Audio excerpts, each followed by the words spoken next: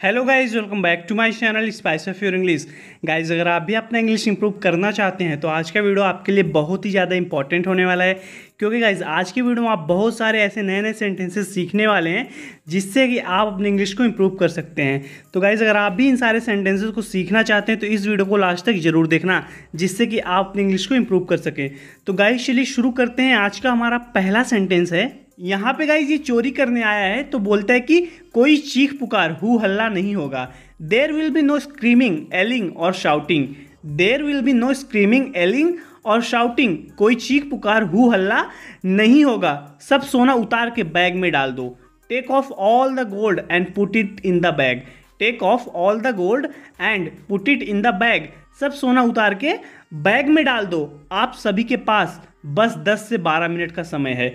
You all have just 10 to 12 minutes you all have just 10 to 12 minutes आप सभी के पास बस 10 से 12 मिनट का समय है। जेब में क्या छिपाया है? What are you hiding in the pocket what are you hiding in the pocket जेब में क्या छिपाया है या क्या छिपा रहा है? What are you hiding in the pocket मैंने कहा, हाथ ऊपर कर। I said raise your hands I said raise your hands मैंने कहा, हाथ ऊपर कर। I said raise your hands अबे गुलाब जामुन क्या रखा है बे? Why are you carrying sweets why are you carrying sweets अबे गुलाब जामुन क्यों रखा है बे? गैस के पॉकेट में हाथ डालता है तो बोलते कि why are you carrying sweets अबे गुलाब जामुन क्यों रखा है? तभी बोलते गाइस कि जेब फटी है बेटा। This pocket is torn son this pocket is torn son जेब फटी है बेटा। मेरी नज़रों से ओझल हो जा। Get lost of my sight get lost of my sight मेरी नज़रों से ओझल हो जा। कोई मेरे हाथ धोने के लिए एसिड तो दो। Someone bring some acid to wash my hands someone bring some acid to wash my hands कोई मेरे हाथ धोने के लिए एसिड तो दो। तुम दोनों नज़र रखो। You two keep an eye you two keep an eye तुम दोनों नज़र रखो। You two keep an eye हम लोग निकल रहे हैं। योजना के अनुसार मुझे हनुमान मंदिर के पीछे मिल। We are leaving as planned meet me behind Hanuman temple we are leaving as planned meet me behind Hanuman temple हम लोग निकल रहे हैं, योजना के अनुसार मुझे हनुमान मंदिर के पीछे मिल। कहने के मतलब है कि जो हम लोग प्लान बनाए थे, उसके अनुसार मुझसे हनुमान मंदिर के पीछे मिलो। We are leaving as plan meet me behind Hanuman temple मेरा नाम चुलबुल पांडे है, उर्फ़ Robin Hood Pandey. My name is Chulbul Pandey A K A Robin Hood Pandey.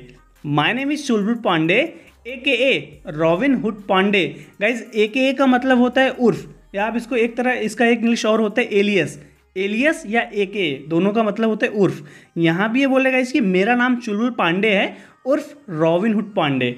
My name is Chulbul Pandey A K Robin Hood Pandey. या आप इसको ऐसे बोल सकते हैं, my name is Chulbul Pandey, alias Robin Hood Pandey. दिख नहीं रहा है कि पानी भरा है। Can't you see the waters overflowing can't you see the waters overflowing दिख नहीं रहा है कि पानी भरा है। Can't you see the waters overflowing अकल नहीं है क्या? Don't you have sense don't you have sense अकल नहीं है क्या? क्या मैं तुम्हें कुछ सिखाऊं? Can I teach you something can I teach you something क्या मैं तुम्हें कुछ सिखाऊं? ये बोल दी गई कि इस उम्र में at this age at this age इस उम्र में, तभी बोलते गाइज़ कि सीखने और सिखाने की कोई उम्र नहीं होती। Learning has nothing to do with age learning has nothing to do with age सीखने और सिखाने की कोई उम्र नहीं होती। यहाँ पे गाइज़ ये बोल रहे कि, क्या मैं तुम्हें कुछ सिखाऊं? Can I teach you something इस उम्र में at this age at this age इस उम्र में सीखने और सिखाने की कोई उम्र नहीं होती। Learning has nothing to do with age learning has nothing to do with age सीखने और सिखाने की कोई उम्र नहीं होती। बेवजह तुम मेरी पत्नी को होश में ला रहे हो। Unnecessarily you are making my wife conscious unnecessarily you are making my wife conscious बेवजह तुम मेरी पत्नी को होश में ला रहे हो। भैया, आपने तो मुझे भ्रमित कर दिया। Brother you got me confuse brother you got me confuse भैया, आपने तो मुझे भ्रमित कर दिया। Brother you got me confuse sir please आप जल्दी कुछ कीजिए, नहीं तो वो लड़कियों को उठाकर ले जाएँगे। Sir please do something immediately otherwise they will take the girls away sir please do something immediately otherwise they will take the girls away sir please आप जल्दी कुछ कीजिए। Sir please do something immediately नहीं तो वो लड़कियों को उठाकर ले जाएँगे। Otherwise they will take the girls away उनकी ज़िंदगी बर्बाद हो जाएगी। Their lives will be ruined their lives will be ruined उनकी ज़िंदगी बर्बाद हो जाएगी. ये बोलते हैं कि मैं उनकी ज़िंदगी बर्बाद नहीं होने दूँगा. I won't let their lives be ruined I won't let their lives be ruined मैं उनकी ज़िंदगी बर्बाद नहीं होने दूँगा. यहाँ पे गाइज़ कुछ गुंडे कुछ लड़कियों को लेके जा रहे हैं, तभी आके बोलती है कि sir please do something immediately otherwise they will take the girls away sir please आप जल्दी कुछ कीजिए। Sir please do something immediately otherwise they will take the girls away नहीं तो वो लड़कियों को उठाकर ले जाएँगे। उनकी ज़िंदगी बर्बाद हो जाएगी। Their lives will be ruined their lives will be ruined उनकी ज़िंदगी बर्बाद हो जाएगी। मैं उनकी ज़िंदगी बर्बाद नहीं होने दूँगा। I won't let their lives be ruined I won't let their lives be ruined मैं उनकी ज़िंदगी बर्बाद नहीं होने दूँगा। क्या कर रहा है? तुझे चक्कर आ जाएगा। What are you doing you will get dizzy what are you doing you will get dizzy क्या कर रहा है? तुझे चक्कर आ जाएगा। गाइज़ ये गोल गोल घूम रहा था, तब ये बोलते हैं कि क्या कर रहा है? तुझे चक्कर आ जाएगा। What are you doing you will get dizzy मैं बताऊँ तुम्हें, इनमें बहन जैसी फीलिंग क्यों आ रही है? I will tell you why she seems like a sister to you I will tell you why she seems like a sister to you मैं बताऊँ तुम्हें इनमें बहन जैसी फीलिंग क्यों आ रही है? कहने का ये मतलब है, मैं बताऊँ तुम्हें ये बहन की तरह क्यों लग रही है? I will tell you why she seems like a sister to you क्योंकि मुझे इनमें पत्नी जैसी फीलिंग आ रही है. Because she seems like my wife to me because she seems like my wife to me क्योंकि मुझे यह मेरी पत्नी की तरह लग रही है, क्योंकि मुझे इनमें मेरी पत्नी की जैसी फीलिंग आ रही है। Because she seems like my wife to me यहाँ पे गाइज़ ये बोल रहा कि मैं बताऊँ तुम्हें इनमें बहन जैसी फीलिंग क्यों आ रही है? अपने भाई से बोल रहा है कि I will tell you why she seems like a sister to you तुम्हें बहन की तरह क्यों लग रही है? क्योंकि मुझे इनमें पत्नी जैसी फीलिंग आ रही है। क्योंकि ये मेरी पत्नी की तरह लग रही है। Because she seems like my wife to me हमें मक्खी के लिए लड़की ढूंढनी पड़ेगी। यहाँ पे इसकी माँ बोल रही कि हमें मक्खी के लिए लड़की ढूंढनी पड़ेगी। We will have to find someone for Makkhi. We will have to find someone for Makkhi. हमें मक्खी के लिए लड़की ढूंढनी पड़ेगी ना? गाइस समोन का मतलब है लड़की। यहाँ पे ये लोग लड़की की बात कर रहे हैं तो इसकी माँ बोलती है कि we will have to find someone for Makkhi हमें मक्खी के लिए लड़की ढूंढनी पड़ेगी ना। तू तो किसी को भगा के ले आएगा या लव मैरिज कर लेगा। You will either elope with someone or romance with someone and have a love marriage you will either elope with someone or romance with someone and have a love marriage तू किसी को भगा के लेके आएगा या लव मैरिज कर लेगा। You will either elope with someone or romance with someone and have a love marriage देखो खुशी कितनी जल्दी सीख जाती है ना? गाइज़ यहाँ पे अपनी माँ से बोल रही है look mom Khushi is such a fast learner look mom Khushi is such a fast learner देखो खुशी कितनी जल्दी सीख जाती है ना? तब इसकी माँ बोलती है गाइज़ अच्छी बात है, जल्दी इसे घर संभालना भी सीखना पड़ेगा. That's a good thing soon she will have to learn to take care of her home that's a good thing soon she will have to learn to take care of her home अच्छी बात है जल्दी इसे घर संभालना भी सीखना होगा।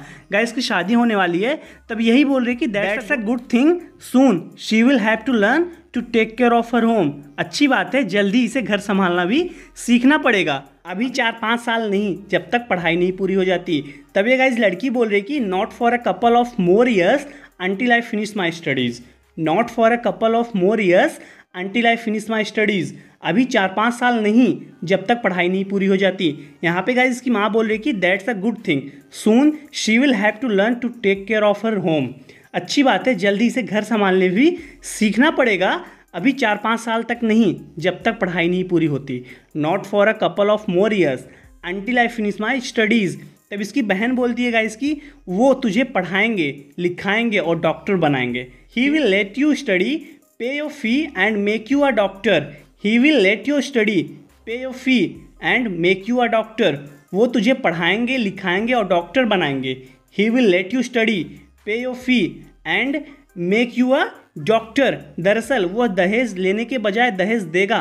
In fact he will give dowry instead of demanding one in fact he will give dowry instead of demanding one दरअसल, वह दहेज लेने के बजाय दहेज देगा। आजकल उनके जैसे लड़के मिलना मुश्किल है। It's hard to find guys like them these days it's hard to find guys like them these days आजकल उनके जैसे लड़के ढूंढना मुश्किल है। काश मुझे भी कोई ऐसा मिल जाए। I wish I find someone like him too I wish I find someone like him too काश मुझे भी कोई ऐसा मिल जाए। यहाँ पे गाइज़ ये बोल रही है कि वो तुझे पढ़ाएँगे, लिखाएँगे और डॉक्टर बनाएँगे। He will let you study pay your fee and make you a doctor दरअसल, वह दहेज लेने की बजाय दहेज देगा। In fact he will give dowry instead of demanding one आजकल उनके जैसे लड़के मिलना मुश्किल है।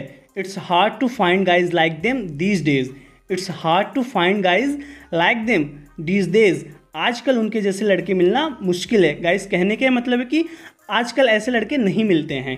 It's hard to find guys like them. These days, काश मुझे भी कोई ऐसा मिल जाए। I wish I find someone like him too. I wish I find someone like him too. काश मुझे भी कोई ऐसा मिल जाए। वेल well गाइज़ आज के इस वीडियो में इतना ही। ज़रूर बताना कि आपको वीडियो कैसी लगी। वीडियो अच्छी लगी, वीडियो को लाइक कीजिए, कमेंट करके ज़रूर बताइए। गाइज़ अगर आप इस चैनल पे नए हैं तो प्लीज़ हमारे चैनल को सब्सक्राइब कर लीजिए। मैं डेली आपके लिए इसी तरीके की वीडियो बनाता हूँ ताकि आप इंग्लिश को इम्प्रूव कर सकें। वेल गाइज़ मैं आपसे अगली वीडियो मिलता हूँ. Till then take care keep practicing and thanks for watching